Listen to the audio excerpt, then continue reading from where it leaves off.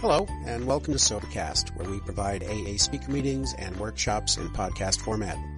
We're an ad-free podcast, and if you enjoy listening, please help us be self-supporting by visiting Sobercast.com, look for the donate link, and drop a dollar or two into our virtual basket. We hope you enjoy the podcast. Have a great day.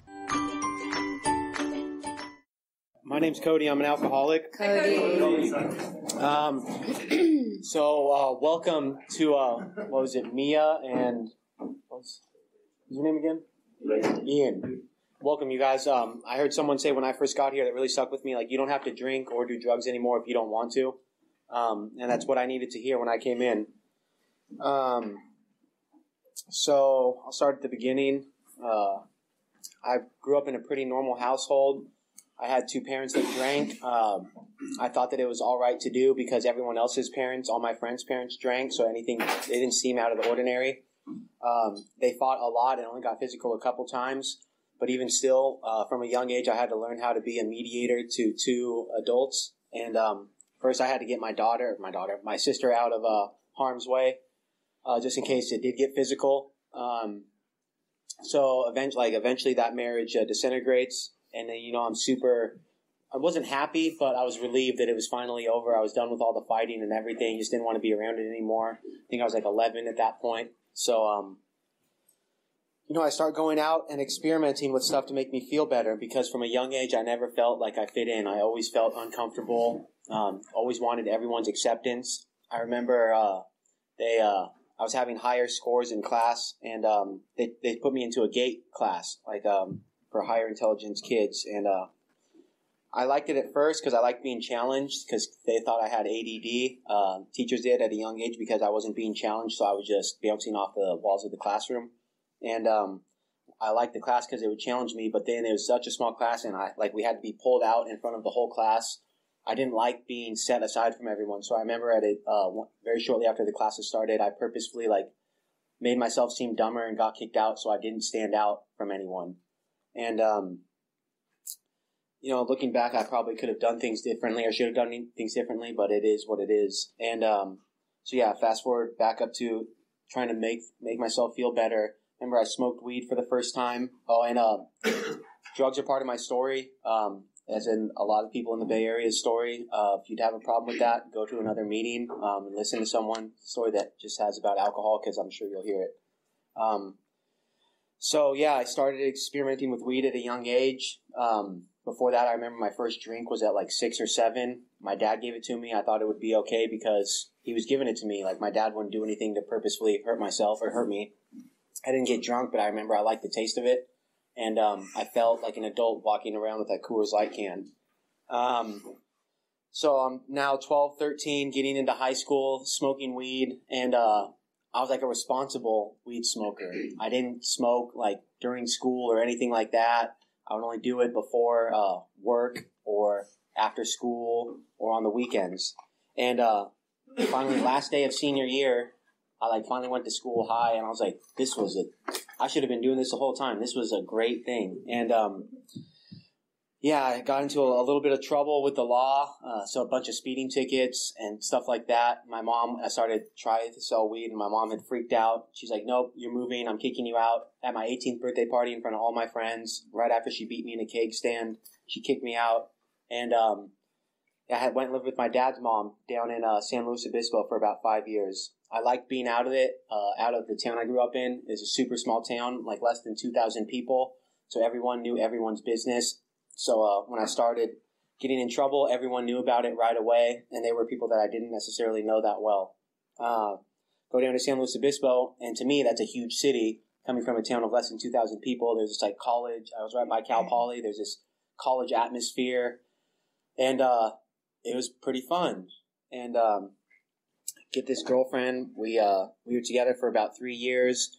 Moved in with each other after about a year. Got a dog, and so like I thought I thought the next step was going to be like, okay, well, I mean, to me, in my mind, the next step is, will you marry me? Um, I was pretty young.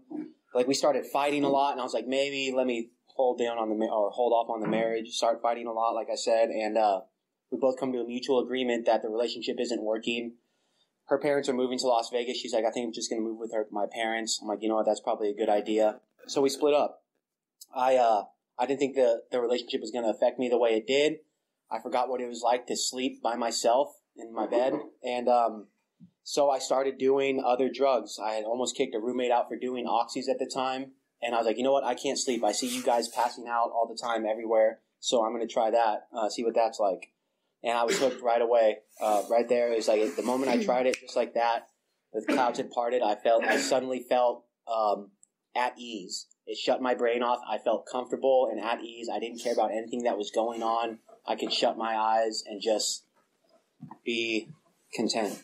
And um, as with the case, as with the story with a lot of people, um, my pill addiction graduated to other drugs, and uh, within a short period of time, I was mainlining drugs, and um, it was all downhill from there. I had a buddy that was from Detroit warn me about it. He had seen it growing up in Detroit, where uh, opiates are a pretty big deal. He's like, once everyone once you go to the needle, it's a pretty there's no turning back. I'm like, no, man, like I got this. I got pretty strong willpower, and um, didn't work. My saving grace up until that time, everyone in my family knew I had a problem with substances. My saving grace was, yeah, I may have had some speeding tickets when I was younger, but I've got I've had no real problems with uh, the law as far as my drugs are concerned. So you guys can say whatever you want to say, but I'm paying my rent. I'm not asking you guys for money. Let me live my life. And uh, the universe listened to that, and to prove a point, I got in trouble. And uh, there was my get out of jail free card, literally. And um, or it went right out the window. Started getting in trouble again and again and again and again. Tried my first geographic, moved back up from San Luis Obispo to my hometown, and uh, switched substances from opiates to uh, uppers. And uh, I was like, this is not what I want, but it's something. And um, continued to get in more trouble, more trouble. Finally moved away, moved back, or moved here to the Bay Area. And I thought, as much as I thought San Luis Obispo and the Central Coast was like a big city, the first time like I walked into San Francisco, I was like, what the fuck? This is crazy. I'm from a town that like we have one blinking four way red light in the middle of town, and I get off the BART for the first time, and like I can't even. I look up and I can't even see the tops of buildings. I was like, this is crazy. Turns out I'm claustrophobic also. Didn't know that until I got on BART during rush hour and um, had like a super anxiety attack. And yeah, it sucks. One minute. Okay, I got to get sober. Um, I caught a new case, went to rehab. And uh, while I was in rehab, I was doing it only because I wanted to stay out of jail. And while I was in there, something clicked. I don't know what it was. I've stopped trying to pinpoint it. All I know is that it worked and something stuck. I've been trying to get clean since I was 20. I'm now 30. I have a little over two years. Um, before I got clean, I had a daughter.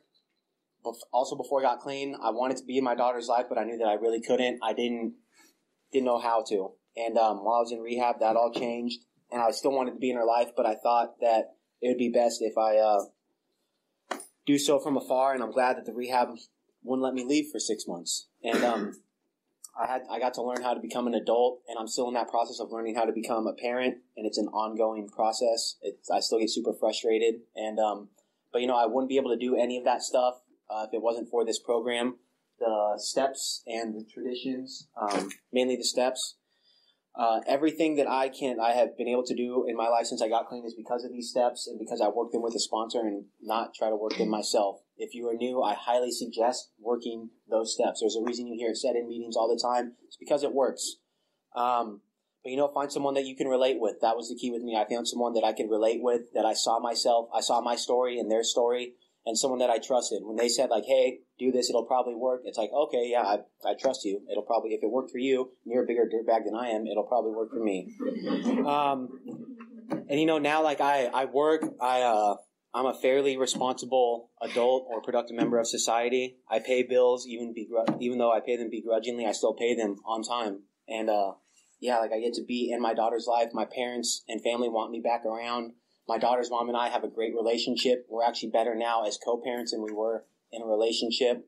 Um, and yeah, like I get to go back to my treatment center that I went through, and I get to sponsor guys from there, and that's like a super rewarding thing. That's where the magic of the program is: is sponsoring people. That's honestly why I wanted to do the steps was so I could help someone. I didn't give a shit about one through eleven. I just wanted to get to twelve and help someone. And um, but it's also it was super fearful. Um, but just like anything, if I have enough faith, then I I'm fine. I have enough faith that my higher power is going to walk me through it, just like He did with my sobriety, and He's led the way for me so far. Um, if you're new and you need a sponsor, talk to me after the meeting. I'm available for sponsorship.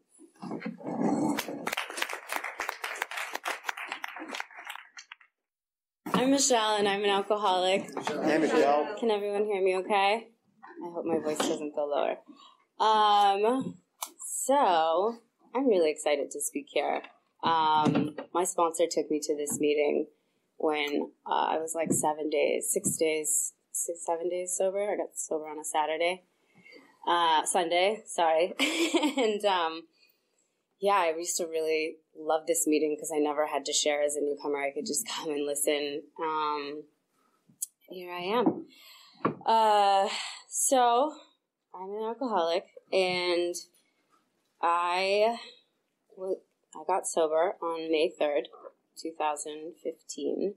So a little over three years, um, which is really intense and crazy to say because I started drinking at 18 and I didn't get sober until I was 29. And I never put more than two weeks together of actually trying to stay away from drugs and alcohol. Um, the one time I did, I was working at a at a sports bar, and it was the month of February, like it is now, because it's the shortest month of the year. We had this bet going that like if you could stay sober for the entire month of February, then you're not an alcoholic.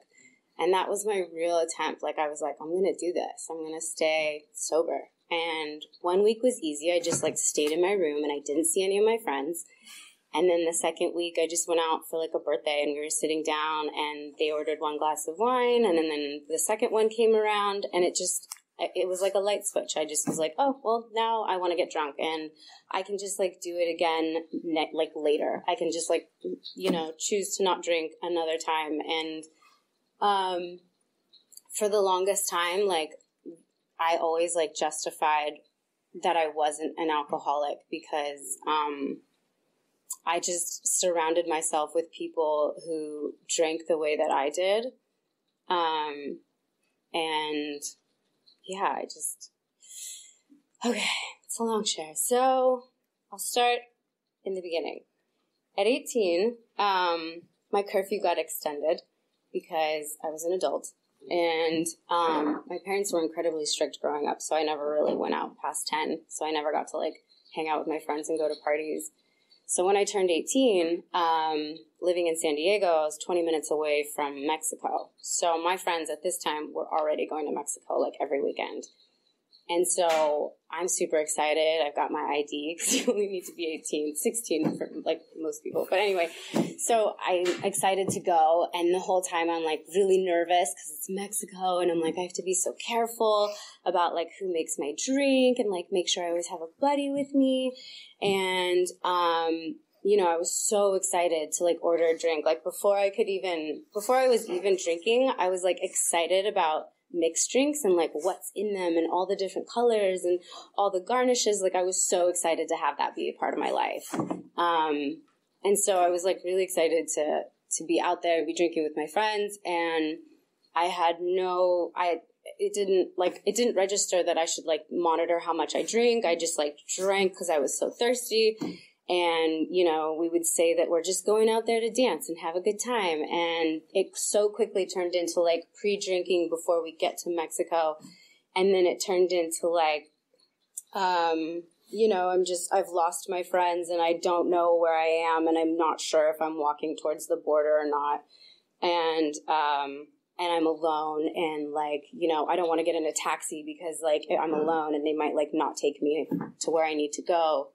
Um, but also from that experience, I had to constantly see like a police officer and tell them that I'm a U.S. citizen. So I got really comfortable being drunk around cops because at first I thought like I have to sober up before I get to the border, and then I realized like we're all good as long as we're not like fighting or anything. They're not going to take us to the drunk tank. So I got really comfortable just like speaking to people when I was intoxicated.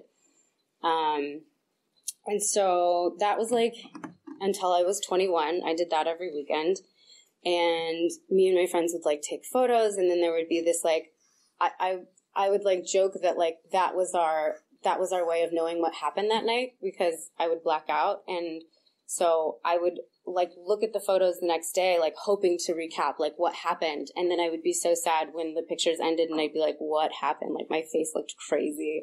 I looked really fucked up. And we would always, I like me and my friends would always swear that like somebody put something in our drink. Like we got so drunk last night. Like there's no way that that was just alcohol. Um, and then I started snowboarding a lot.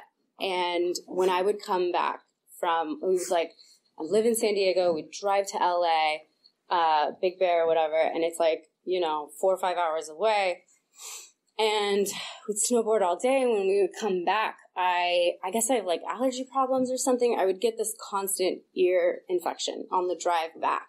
And I would have to go to the emergency room to get Vicodin for the pain. That's what I was like looking forward to. And, um, it happened so often that like I remember thinking like I should take the Vicodin with me when I go because I'm probably going to get another ear infection. But then my second thought was like, or you could get more Vicodin if you just like keep the pain long enough and then go to the emergency room, they'll give you another bottle because they give you so many and you really just need one for the next day. Anyways, because the pain, you take antibiotics and it goes away. But like, I was already like counting how many pills I had and like when we could go snowboarding again. And so like then it just like it picked up this addiction with like with mixing Vicodin with beer and then also going in a jacuzzi because all of that like intensifies like the high. And so I got really interested in like getting like the most high. Um, and then some of my friends started doing drugs and um, as long as like I was offered them for free the first time, I was interested in trying them. I never wanted to try a new drug if I had to pay for it first. I thought like that obviously is not a good drug. um, so I started doing a lot of cocaine, um, and it turned into like this thing where I would just like I'd run out and I would like ask everyone around me. At first, like me and my friends would be like, "Oh, like let's just look for the people who are like touching their nose a lot," and then it was like, "Let's just ask everyone," and then it would turn into like, "You've already asked me," and so, um, yeah, just like so. I like drugs and I like alcohol, and then, um yeah, I was always like doing it at really inappropriate times or inappropriate places. Like um, once I started working in restaurants, um, the bartenders uh, at this one place I started working at would give us alcohol in like a kid's cup because it was it had cartoons or something around it. You couldn't see inside. And I remember like the first time and being like, "We can do this," and they were like, "Yeah, like just don't tell anybody if you're like straight and you don't act drunk, you know, it's chill. And I got tired of like flirting with the bartenders in order to get alcohol in those little kids cups, so I'd bring my own and um and get trashed at work. And then I just started looking for other places where it was appropriate to drink at work, like the horse races in Del Mar. And I would get so trashed, and it's like 45 minutes away from my house. So then we'd be like, well, we obviously need to like party somewhere now because we can't just drive home. We're like really drunk. And so, um, yeah, it just, uh, I really liked to be out and about. Um, and just, I didn't care about being like shamefully drunk in front of people. Um, so it was a lot of like puking and peeing in the street and, you know, just being with people that I wouldn't normally want to hang out with um, if I was sober because um, yeah, people used to say like, I don't know, I like you because you're just down. You're just down to do whatever, and it's like not a compliment, but I really like pride myself on that. I was like, yeah. Um, or like one time I like threw my hair, my hair used to be like really long and I threw my hair up in a ponytail or a bun really fast because I knew I was going to puke and someone was like, wow, like you did that really fast. And I was like, yeah, like I, I know what I'm doing. like, um, so yeah, it just got, it just, it just wasn't pretty. And, um, let's see, I, uh, eventually at the emergency room, they started like noticing that I was coming there a lot. And they told me that if this continues, like, I'm gonna have to have like surgery on my ear, and they were like, or you can just take like Claritin before you go up, and then you won't have this problem. And I was like, fuck, I have to like, I can't do Vicodin anymore. And plus, I remember like looking on the internet, like, when have you taken too much Vicodin? And it was like, oh, your liver will start to hurt. And I was like, where's your liver? Is it like right here? Because this is where I get a lot of pain. And then I was like, you know, these are obviously signs that I need to like not do Vicodin anymore. And so like, I would just like make excuses like to do from one drug, I would go to another. Um, and, um, yeah, so all my friends were like getting knocked up, getting married, and like having really great jobs. And I was like still in San Diego, and I cut like, I don't know, I, I sort of like never thought I would live um, to like be a grown up. I thought like I was gonna die young. And so I never really like planned my life or had a life plan. Like even in high school, they were like, "Where do you want to go to college?" And I was like, "I'm not going to live to go to college. Like that's not going to be me." Um, and then it creeped up on me, and I was like, "Fuck! I guess I should go to college." So um, one of my friends was like, "Let's go to San Francisco."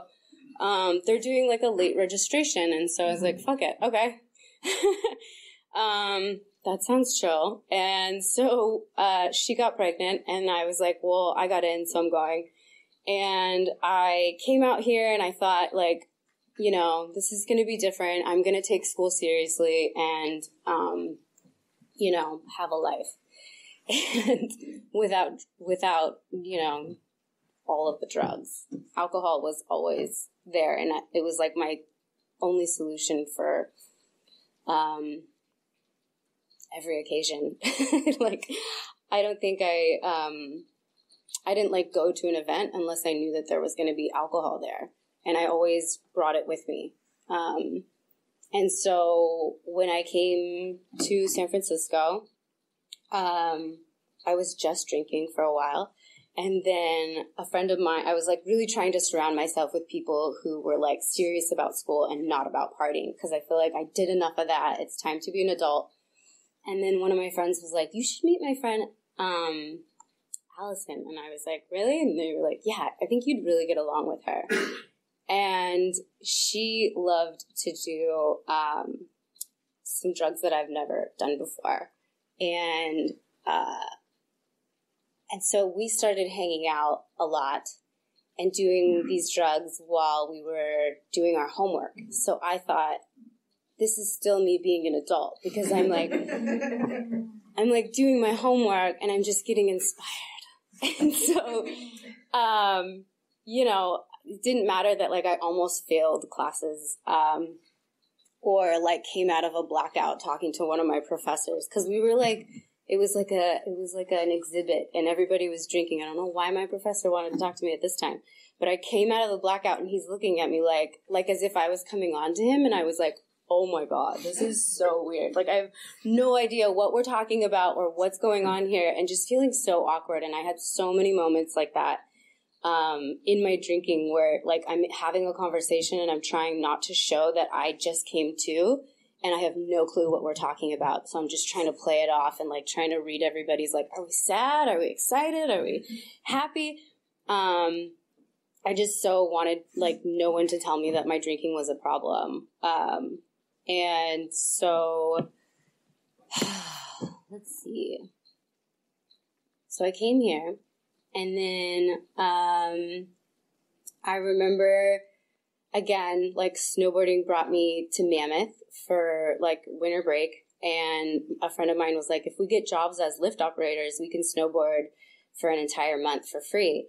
And I was like, I'm so down. Let's do that. And like, we could just like Craigslist, couch surf. And, um, and so I did that and I got kicked out of every place that I lived. Um, like within two weeks. And um, the first place, the guy was like a drug dealer. So when he kicked me out, I stole some of his weed before I left because, like, obviously I needed to take care of myself. And the um, second place, these guys were really nice. I feel really bad. I just like drank all their alcohol and I went to a party. It was like New Year's Eve and I was like, my cousin came from LA to visit, and so we're like, let's get trashed. And they um, they didn't have any chasers, so we were like trying to like drink vodka with Starburst, like as if that was a good idea. Um, it's not, and uh, it was like so crazy. Anyway, so we get to this party, and like I remember coming out of a bathroom, and this guy has like just this like like sandwich bag Ziploc of like Molly, and I have no idea like what this drug is. I've never heard of it. And he's like, you just lick your finger, and then you know, like that's it. Like you just that's how you get high. You lick your finger, stick it in the bag. So I was like, okay, my middle finger is my longest finger. so I like licked it all the way to the knuckle and I stuck it in all the way to the bottom of the bag and I did that twice. And he was like, oh shit. And that's like what I lived for. I love to see people be like, oh damn, like that's crazy. And I just, I just like hopped past him. I was like, yeah, like no big deal. And I just remember one person said to me, maybe they did, maybe they didn't, but I just remember them saying like, you're not going to remember any of this. And I was like, yes, I am. and I don't remember anything. Like, there's pictures and I look like the devil. Like my eyes are so black and I'm just like, and the person who I was living with at the time was like, you gotta go. Like you, we got kicked out of every party that we went to. And, um, I vaguely remember someone yelling at me and being like, like, you're fucked up. Like, you're on drugs. Like, you gotta get out of here.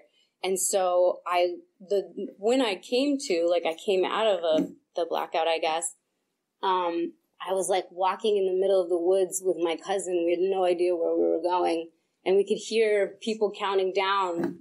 And we were like, oh shit, we should hitchhike like back into town if we see a car. And somebody came, they picked us up. They were really nice. And I puked in their car and I felt so bad because like, it could have gone so much worse. And I was like, of course I do like this thing to people who are being kind to us. We just, I, I have no idea how I got home or what happened, but, uh, then I went to go live with someone else. Like it just like wasn't a big deal. I remember going into work the next day though, and like you know that like when you walk into a room and everybody just sort of like gets quiet and they're just like that's the girl.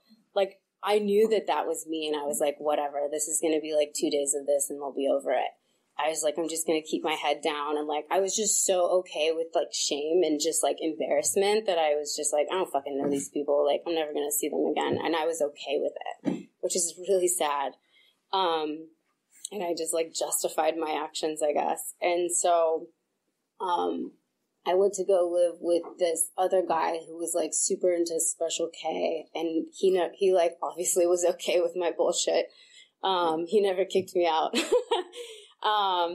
um, I told him I like knew somebody who had it, but I he, we never got it for him. But anyway, so um, that was my time living there and I came back and I got like um, an event coordinating job, and this was like my chance to be a grown up and like have a real job.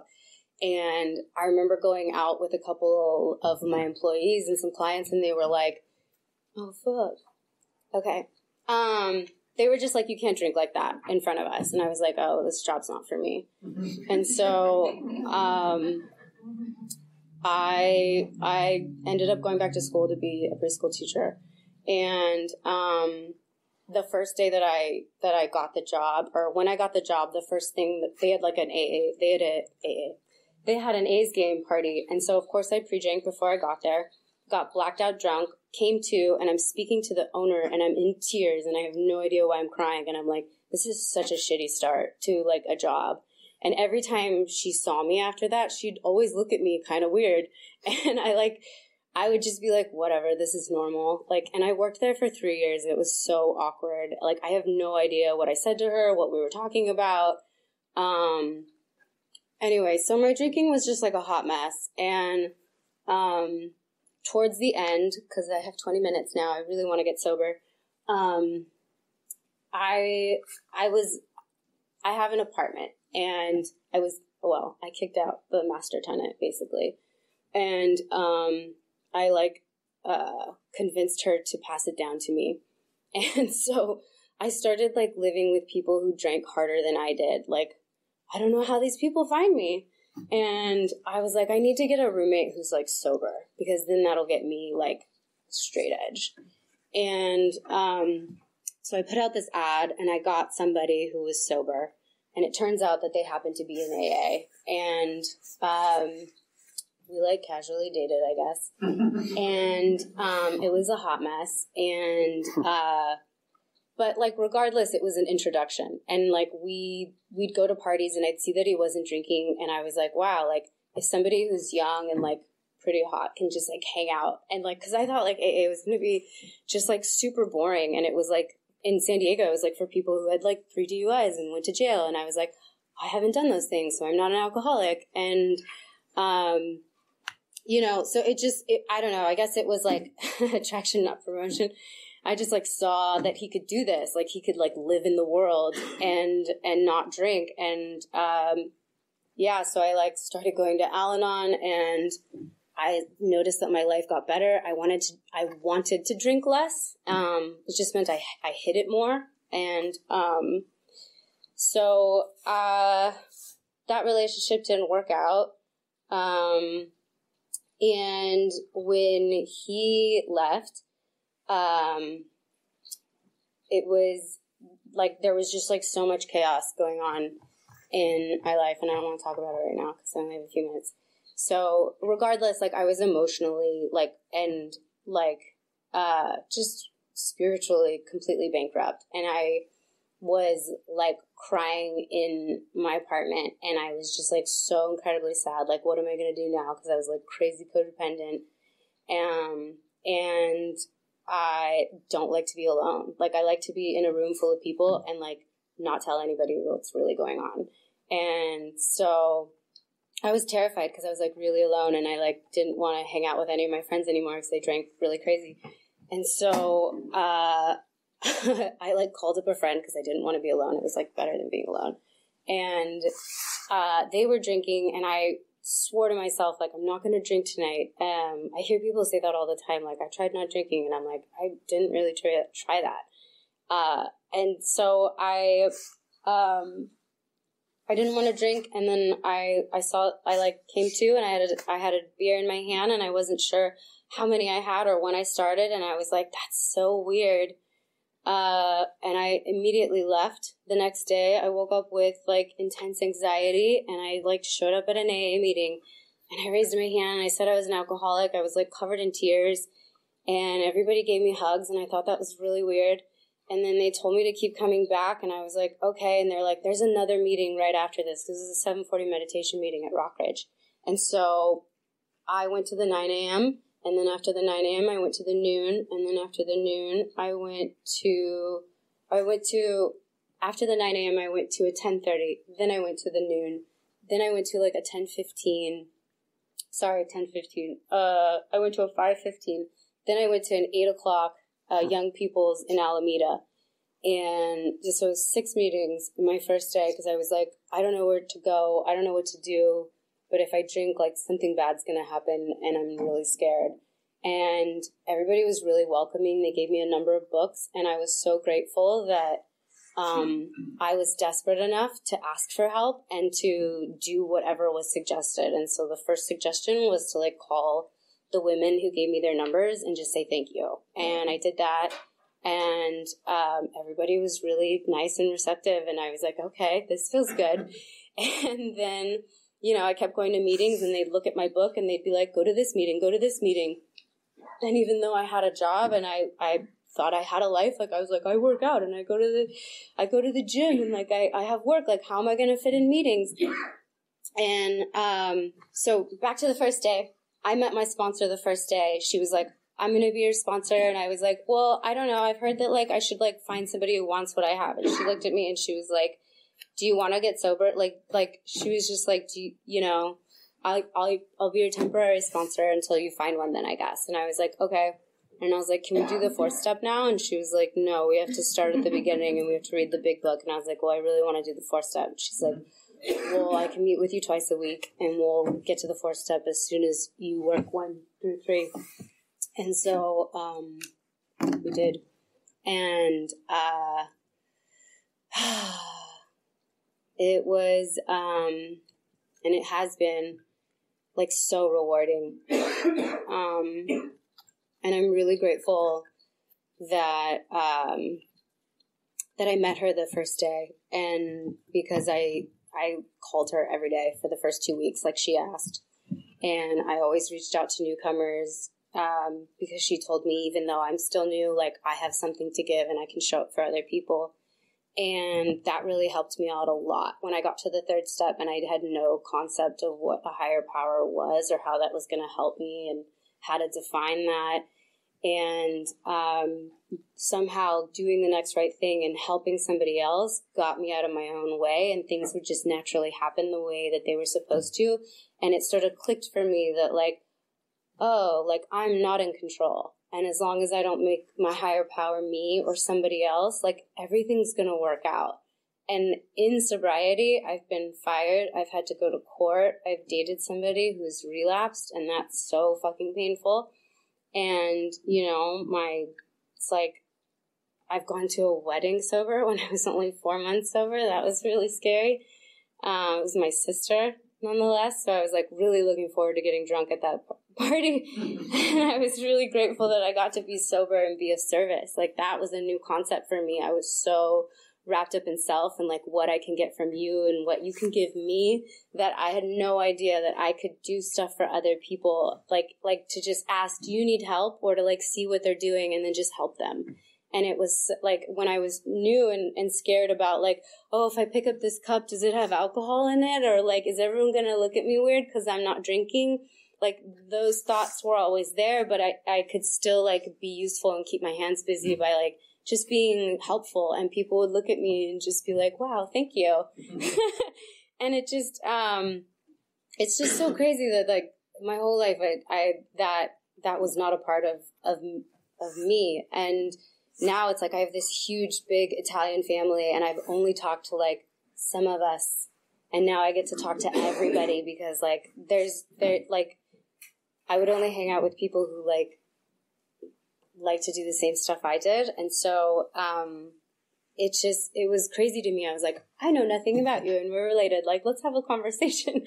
and it's just like, how sad, how sad that like my world was so limiting when I thought like, I thought people who didn't drink were like so bizarre and like, how do you, how do you cope with life? And it's like, you know, this like concept of a higher power, it is something that I have to like constantly be in contact with and the way that um, that I do that is by doing 10 step inventories and meditating and um, being of service. And I definitely, like this week and the last two weeks, I have not been reaching out to the newcomer as much as I could have been. I don't run a perfect program. I don't write 10 steps every day, but when I get angry, I definitely do. um, but I know that when I do stay like on top of 10, 11, and 12, like taking inventory, um, I'm able to like see the the patterns of like what what is going on for me and like how I can um you know just like notice those character defects but um and like prayer and meditation have been um yeah sorry. So just what I wanted to say about 10 was just like before like i used to journal and i would just like write about all the things that i was like pissed about and it never really felt like satisfying or like it just felt like really shitty. And like when i write a 10 step there's like clarity that i get around it. It's like i get to like see my part in the situation which was like such a new concept for me. Um because i never thought that like i had a part in anything. Like i thought people wronged me and like they were at fault and like everybody should pity me and like now i'm like oh like this is where I can be, this is where I can make amends, or this is where I can be useful in the situation. And like, um, the other thing I want to say about like sponsorship, um, is like I've I've heard you should find somebody who has what you want, and my my first sponsor, I'm so grateful for, for her because she was so kind and so loving and so gentle, and I really needed that for the first like year and a half. And um, my second sponsor was really, really, really sweet, but I also felt like I needed somebody who was gonna like call me out on my bullshit. And the biggest like thing I got from her is she she taught me like when I'm really scared because I had to like go to court when I had her as my sponsor and I was like terrified and she was like it's not about like being right it's just like showing up as the woman that you respect and like act as if you were that person and I like I've carried that with me into like more difficult situations when it comes to like a job interview or um I don't know, speaking at a meeting. and so my my third sponsor now though, what what I've looked for this time around um was I I really wanted somebody for the way that they worked their program and the way that they had a relationship with their higher power. And so like this time around I feel like I am really trying to get uh, to stay more in conscious contact with that because it does make life like so much less painful or less stressful when I'm able to just like stay in faith rather than fear and um, know that no matter what happens, if I lose everything, like I'm gonna be okay no matter what. I don't need to like force my will into like believing that like my solution is the only solution that's gonna save me. Like I am to be taken care of. And um, um, yeah, meetings. I recently stopped going to meetings as much because my life was getting so full. And then I heard somebody, that's not an excuse, but uh, I stopped going to meetings like as much. I started going to like three a week because I kept hearing that like if you go to three a week, you're okay. Like and so I was like, okay, minimum, I'm going to do that. And um, I heard this guy who had like 15 years. He was like, I have, he just said it so casually. I have to go to five meetings a week. And I was like, I do too. like, I really miss that. And so I like really upped my game and I was like going to meetings again. And I was like, yeah, like the negative self talk has really like subsided. But I like wasn't, I haven't been reaching out to the newcomer as much. And so it's like, I'm like, ah, oh, that's the missing piece. It's like, just be just asking someone how their day is going, getting their phone number, and it's like that is like our primary purpose here in this program. And um, I'm just super grateful that I have a sponsor and that I stay accountable and that I can like share with her like how my day is going, and then she's like, "How's AA going?" and um, and she could remind me about that because um, you know I yeah, there's always like there's always like more to do. And I, I don't get as hard as on myself like about like i'm not writing 10 steps every day. It's like i'm like oh okay. Well let's like let's write one right now which i did right before this meeting. And um and it just i don't know it just feels better. Because um yeah that's like that's like how i cope now. And i can't wait to do the traditions. That's like my hope. Anyways um yeah. Uh, let's see.